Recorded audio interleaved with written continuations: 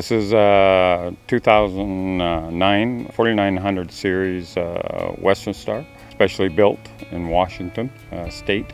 It's got a 505 Detroit DD15 engine in it, 18 speed over transmission, 370 rear ends, 46,000 pound rear ends with 60,000 pound uh, new air ride suspension, 14,000 pound front axle, and a 20,000 pound tag axle on the back made for towing. As far as I know, it's the only one in North America of its type. Uh, until somebody shows me a picture of another one, I'll, I'll keep saying it's the only one of its type that is a tow truck, not a wrecker, a tow truck, and also a service truck fully equipped. It takes all the fear out of it for my customers when I go to them. Uh, you don't know whether you need a, a tow truck or a service truck. When you hang up the phone, you know one or two things is going to happen. We're either going to fix it or I'm going to tow it someplace and get it fixed. I don't have a, a large education. Uh, I'm self-taught in all my trades. I, I, have taken welding courses and stuff like that to upgrade myself. I took an electronic automotive upgrading course as well back in 93, uh, which was about the same time I started this business. The business is about 17 years old. I started off with a one-ton school bus, then moved to a 56 passenger school bus, then a 1994 Mack, which basically is identical to what you see behind me, except it was a Mack. Uh, my dad was an engineer. Uh, I'm what you call a reverse engineer.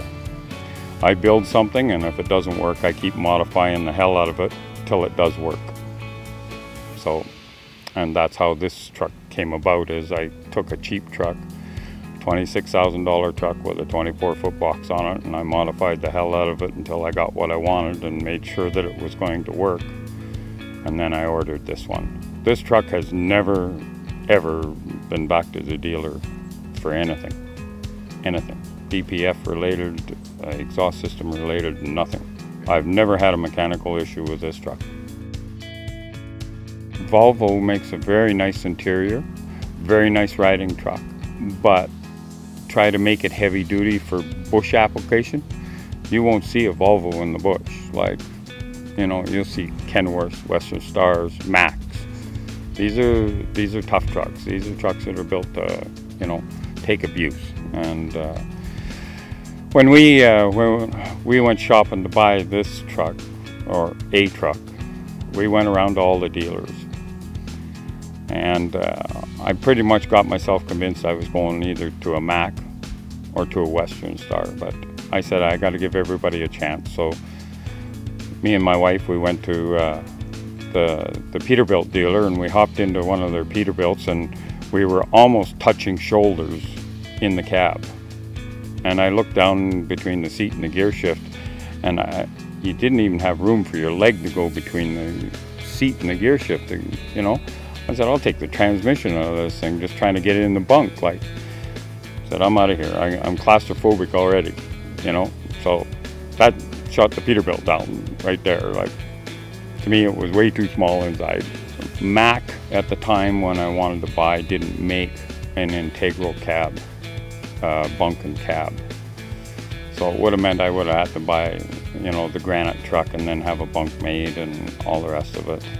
I, I said, well, it comes down to a Western Star or a Mack, and I, am not building a bunk and putting it on. Uh, I, I said I want something that's integral and I looked at uh, all the other options too, like uh, the suspensions and whatnot, and uh, I said Western Star is the best bang for my buck. And I was interested in the DD15 engine because it had been well proven, and, and, and obviously I made a good choice because this one has never seen a dealer yet. So yet, it's getting old now, so there's a good chance it's going to need some work. But you know,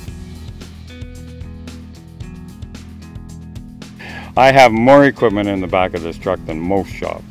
It's got a plasma cutter, MIG welder, you know, 250 amp welder, 10,000 watt generator, hose crimper up to inch and a quarter hose. I can make tons and tons of hydraulic fittings and stuff to go along with the hoses and everything else. And pretty much any part you'd want for a trailer, a truck, within reason. If I've had to buy it twice, I stock it is sort of my motto. And I carry six alternators, pad mount, gear mount, in every brand. Whatever the guy has on his truck, I put exactly what he has on back on. Now this is my, uh, my diagnostic laptop from uh, Diesel Solutions, uh, based out of Miami, uh, Florida. I've been with him uh, well over 10 years. He's been very helpful in my business. Uh, without this laptop in today's world would not be possible to do what I do. It's uh, got every program under the sun in it. It's uh, uh, Mack, Volvo, Detroit, CAT, Cummins, Isuzu, Hino, and Eaton, Fuller transmissions, and uh, Allison. All the programs, all OEM programs, all updated by him online. Very good system, very good guy to deal with.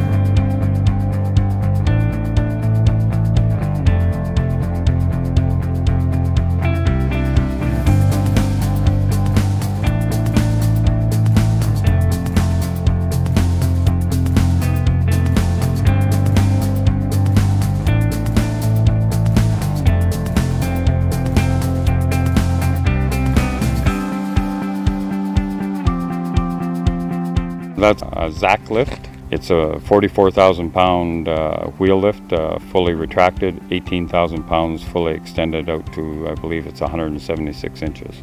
I've had loads of lumber with sets of B trains behind me and uh, drive it like it isn't even there. This truck handles the weight very well. That very heavy suspension I have underneath, that 60,000 pound new air ride is good. And, uh, and the tag at the back you, you see pictures of most tow trucks, and, and to me, it's ludicrous why they have a lift axle in front of their drives. Because when you put something heavy on the back, I'm not a rocket scientist, but think of a teeter totter, okay? You, you put a big fat boy on the end of this teeter totter and put a little guy on this end of the teeter totter where's it going to go? It's to go like that. So why would you put a lift axle closer to the little guy? You're just helping the big guy. So put your lift axle at the back where you're putting the weight. And if I put that lift axle down and you're sitting in the cab and you watch that bug deflector on the hood, you can see it go down. So that's how much pressure I can put on that front wheel. And that's where you want it. You want your steering back. I had a guy that was having trouble with his uh, with his truck down by Latchford. That's 60 kilometers from New Liskeard, okay? And, and uh, it was winter time. He was freezing up, and uh, I said, uh, "We're going to take it down the road." I said, "I got to get you off the road." I said, uh, "I said if you start losing power, just let me know." I said, and I said, "I'm going to come in behind you and give you a little help and push." So we get going out of Latchford and sure as hell the first little hill we come to he starts powering out. So I get in behind him I start pushing him I just start grabbing gears. Well I cannot see where I'm going at all. All I can see is the arse end of a van trailer. So if somebody pulls out in front of him I can't see nothing. So we're going down the passing lane you know uh, uh, north of uh, north of there and I let him go again and we come to the end of passing lane and then it starts an uphill and he started losing power again. So i come in behind him again and i started pushing him again. And i had him up over over 100 kilometers an hour at one point. And uh, i noticed in the mirror that uh, there was a black vehicle been following us all the way from latchford.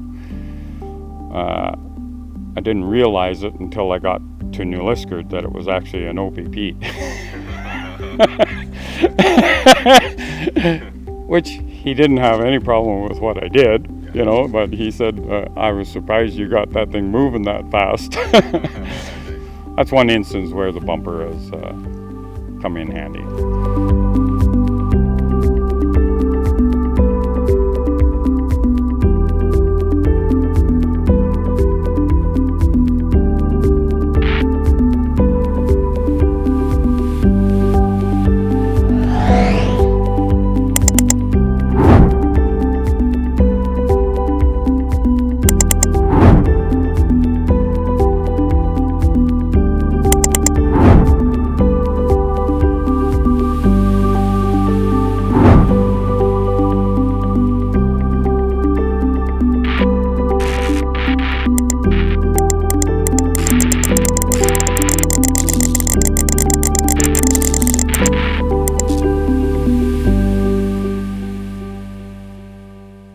Well, since the truck is in its own category, that puts you in your own category. So, what type of title would you give yourself? Grand Poobah. oh, yeah. I, that, I'm sure nobody's going to argue with you on that, especially if their truck's sitting over there broke and needs fixing.